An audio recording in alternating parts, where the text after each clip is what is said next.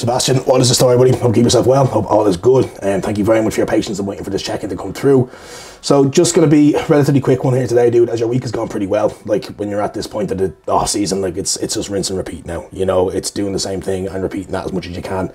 But like if you need to kind of engage in a little bit more hyper palatable foods, like just don't feel as though you can't do that right now. Like, but generally, average intake is exactly where we want it to be. The look that you're presenting now at 116 kilos is fucking impressive, bro. Um, like it really, really is going to be holding pretty reasonable condition at a pretty high body weight. Like the only thing that we're going to be really running into now is probably just kind of the physiological kickback of the body weight itself. You know, the amount of demand being placed on your body just being yourself day to day is significantly higher. But if that's the only real issue that we're running into at this point, man, we're in a pretty good spot. We do have that volume escalation coming in now relatively soon, which I want to kind of push and I want to engage in relatively soon now that we kind of have the propensity to do it. Now the food is high. Right now, let's just keep food as it is.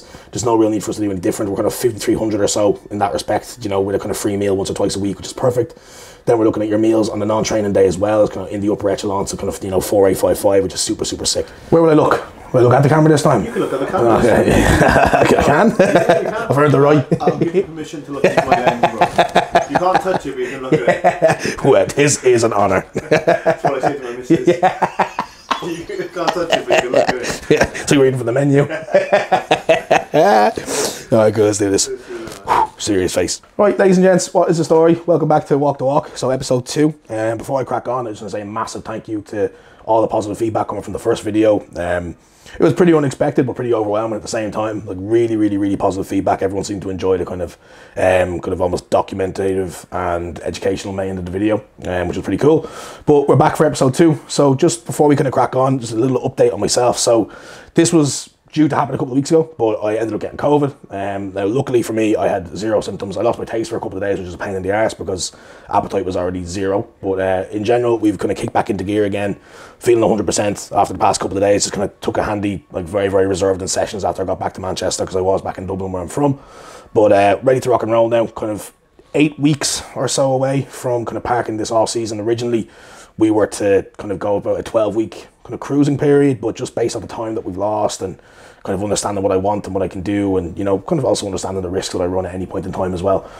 I've pulled that down to eight weeks, and we're going to add an extra kind of six to eight weeks onto the period of time where I basically lost that due to COVID. Um, so turning the volume up for the next kind of eight weeks or so. Really just kind of head to the ground, working, doing what I need to do to get shit done.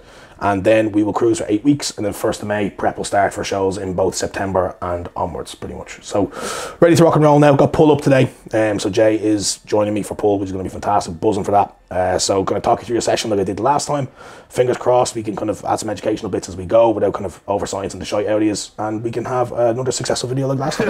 Look at there. Look at me doing my pre-workout for the first time. haven't done this, haven't done this three times already. Fuck's sake. All right, there we go. Mic's on. This is not the first time I've done this. There we go. Uh, there we go. Put that in. Boom. You can uh, use my supplements. It's fine. Yeah, I will. Uh, use code J10. Uh, Magic 10 for all your discounts. Alright, boom. Alright, boom. Colour of this, man. Snake blood.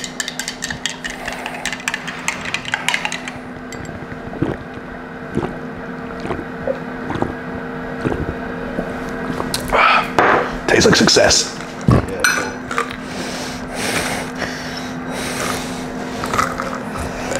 Look at you, huh? Me later, great. Sorry. No, no, no, no. Oh, there we go. Whew, that's grand.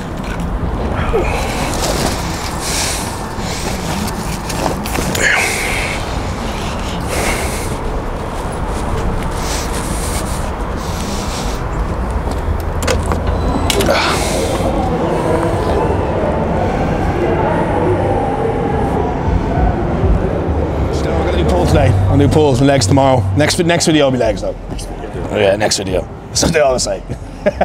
so we got pull today. So generally with my pull sessions, up until about five or six weeks ago, my pull frequency was like every 10 to 14 days. Like historically, my back tends to respond like really, really well comparatively to everything else. So we kind of had frequency way, way down to lead a little bit more runway into having a little bit more hamstring volume, a little bit more delt volume. But now that we're pretty close to kind of parking this all season off, we're just kind of ramping everything up north. So back to pretty much a weekly pull session. We also have a posterior session where I have a lot of work on the kind of upper back and uh, one or two pull downs on that day as well. But this is our kind of only sole focus pull day across the week. So kind of back at it again. Volume is relatively minimal, so there's no escalations across pull because, as I said, historically I don't really need it.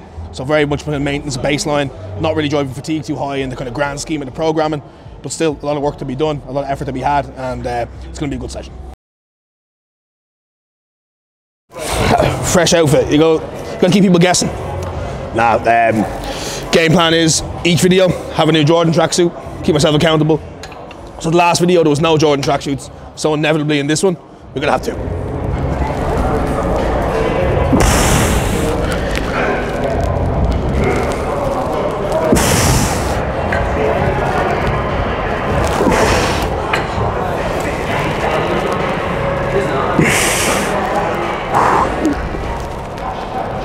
One of the really cool things about this exercise in of itself and just again trying not to science people out too much is when we look at strength profiles, which is generally how a tissue has the capacity to exhibit force, and then a resistance profile, which is generally how a machine has the capacity to elicit that force.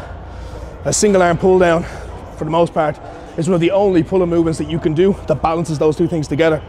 So when you're looking at trying to start something just trying to start your pull session in a way that's going to be conducive to, you know, pre-fatiguing or kind of like, you know, optimally fatiguing a tissue as you start.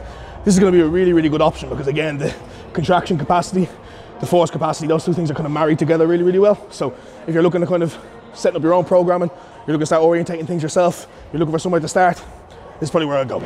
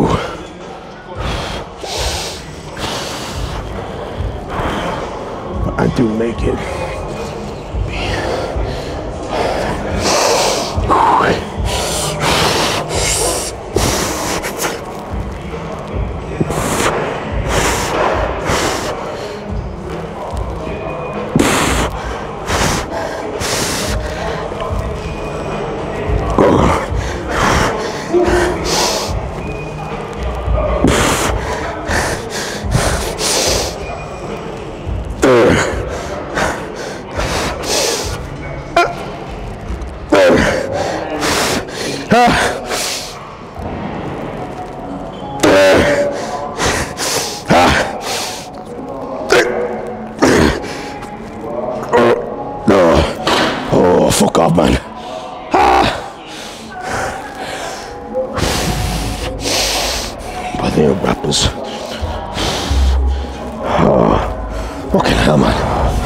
Really, ah. right? I'm shaking.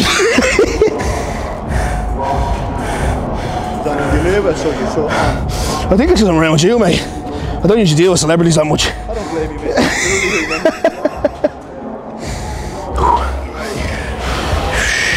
right, we move.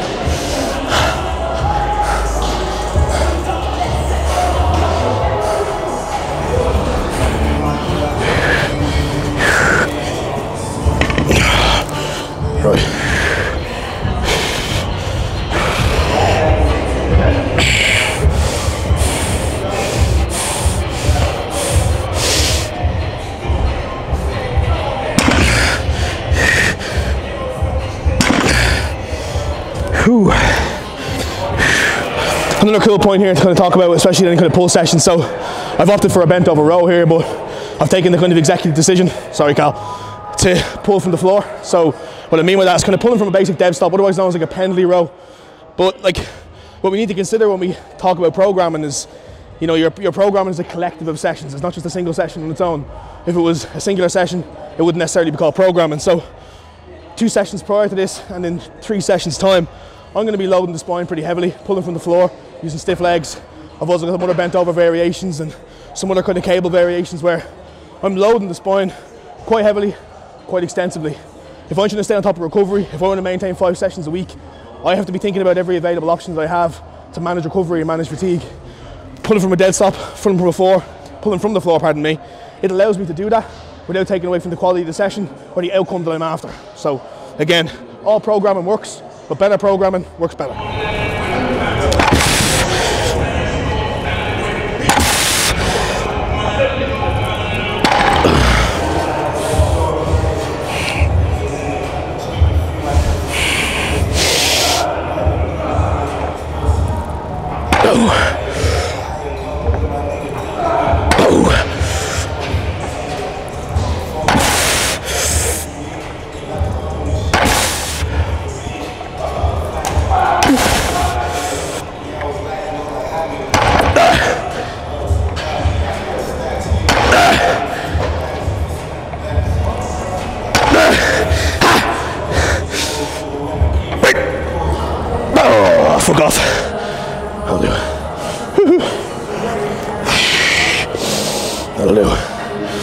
Humbles the fuck out of you.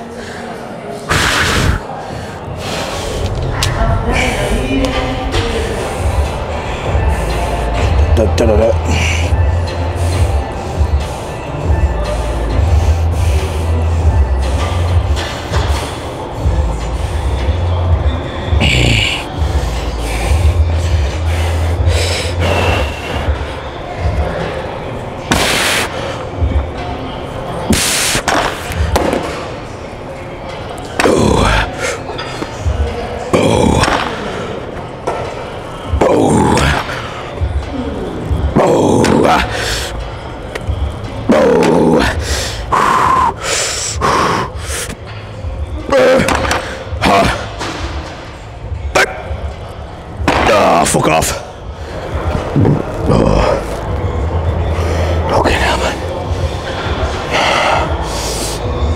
Oh. All right, okay.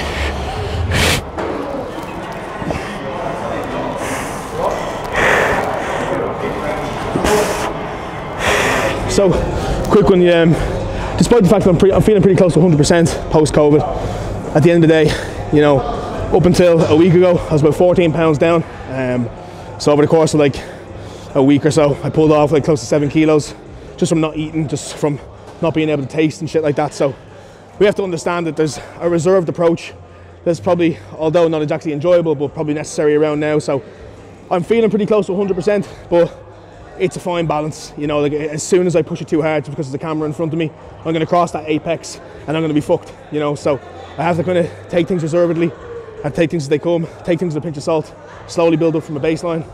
If you ever find yourself coming back from COVID, especially if you're an athlete, physique athlete especially, everyone's always asking how to approach things. I have a kind of way of doing things. Go back to your logbook, peel back maybe you know four or five weeks worth of programming, see where you were there, start at that point, build from there. If you need to go back a little bit, just go further and kind of follow that as a progression pattern. And that's going to be another way for you to kind of systemically go back to where you were without feeling too much like you were behind. Around you, prick. There you bastard. Here we go. Okay, let's go, Rossi. All right, come on, come on, let's go.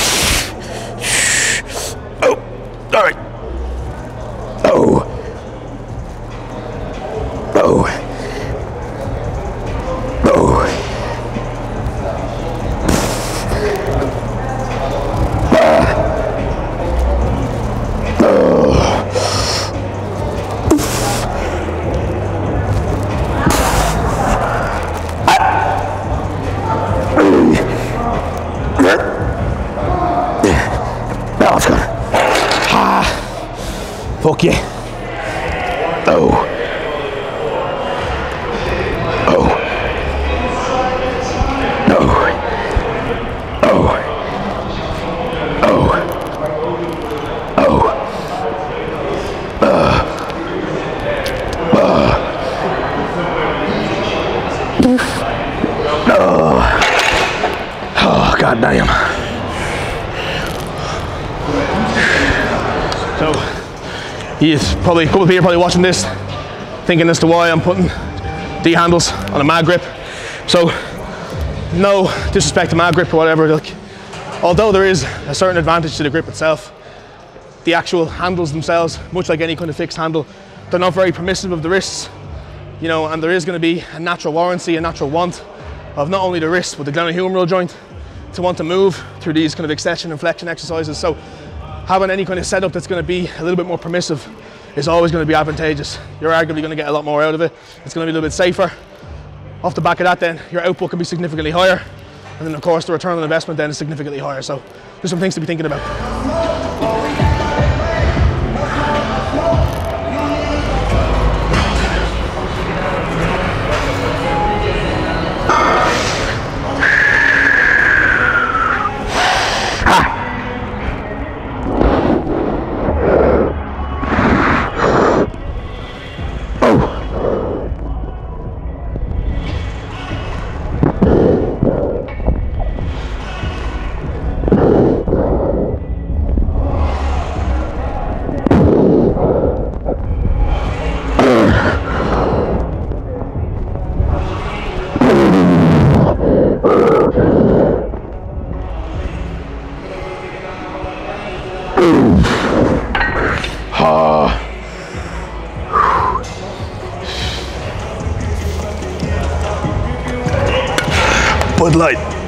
Yours.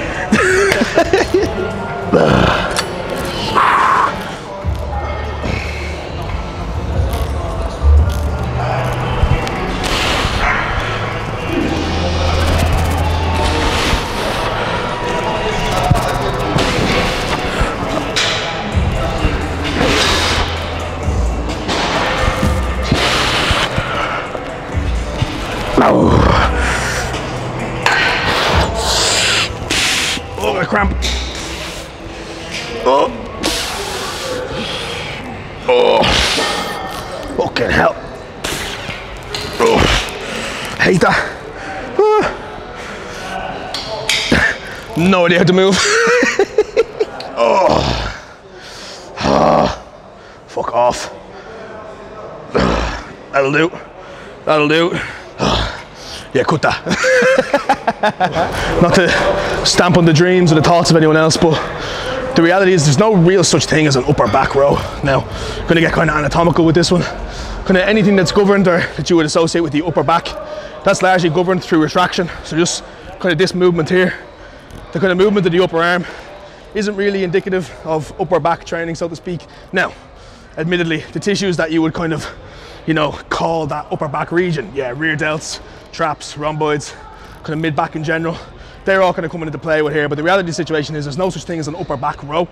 It's more so that the upper back is playing a part within each component of that row. Now, that's obviously super pedantic, it's super specific, it doesn't really change anything so far as the application, but it's just a cool thing to understand so far as the application of anatomy practically to us meatheads. It's not all just airy fairy nonsense that we don't need to understand, it's things that we should consider and understand to some degree and apply to our training if we can.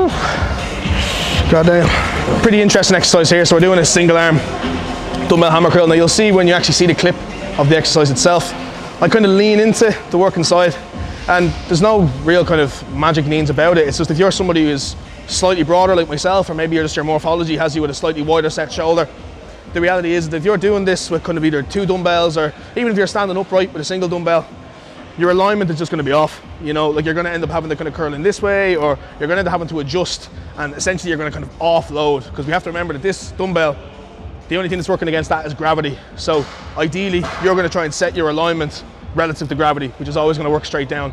So if you are somebody who kind of sits a little bit broader or somebody who just has that slightly wider set shoulder and you're doing exercises such as this and they've never really felt right, I'm going to advise you to go unilateral, lean into that working side, and you should find it significantly better. Right, so that is pull wrapped up. Um, another session in the books.